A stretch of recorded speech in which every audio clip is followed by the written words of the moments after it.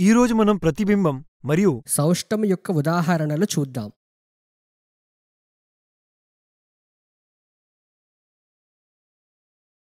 చదరపు కాగితంపై క్రింది ఇచ్చిన చిత్రాన్ని గీయండి మరియు ఇచ్చిన రేఖకి అవతలి వైపు దీని ప్రతిబింబం రిఫ్లెక్షన్ని గీయండి. ఏబి స్థానంలో అద్దం ఉందని ఊహించుకోండి. మీకు తెలిసినట్టుగా అద్దంలో వస్తువు యొక్క కుడి భాగం ఎడమవైపు మరియు ఎడమ భాగం కుడివైపు కనిపిస్తుంది కానీ పొడవు మరియు కోణం సమానంగానే ఉంటాయి. మన సౌలభ్యం కోసం చిత్రంలో వివిధ బిందువులకు పేరు పెట్టండి. టీ దర్పణ రేఖపై ఉందని మనం ఇక్కడ చూడవచ్చు. దాని ప్రతిబింబం ఎక్కడ వస్తుందో చెప్పండి. ఆలోచించండి. సరిగ్గా చెప్పారు. దాని ప్రతిబింబం దర్పణ రేఖపైనే వస్తుంది. దీన్ని టీతో చూపుదాము. బిందువు పి దర్పణ రేఖకి నాలుగు చదరాల దూరంలో ఉంది. మరియు టీ బిందువు రెండు చదరాలపై ఉంది. సరిగ్గా ఇదే విధంగా మనం దర్పణ రేఖ నుండి కుడివైపు నాలుగు చదరాలని లెక్కిస్తాము మరియు టీ డాష్కి రెండు చదరాల పైన పీ డాష్ని గుర్తిద్దాము.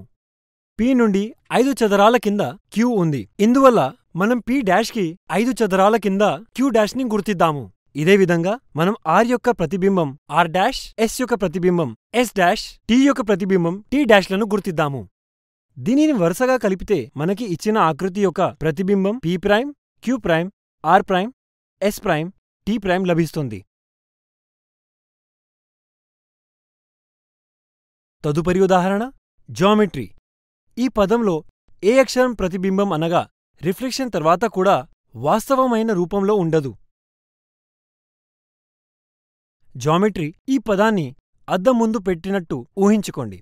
ఈ స్థితిలో మనకి కుడివైపు భాగం ఎడమవైపు భాగంలా మరియు ఎడమవైపు భాగం కుడివైపు భాగంలా కనిపిస్తుంది. దీనిని మనం పరావర్తనం అనగా లాటరల్ ఇన్వర్జన్ అంటాము. ఇక్కడ మనం చూడవచ్చు. పరావర్తనం చెందిన తర్వాత కూడా ఓ ఎం టి వై ఈ అక్షరాల రూపంలో ఎలాంటి మార్పు లేదు.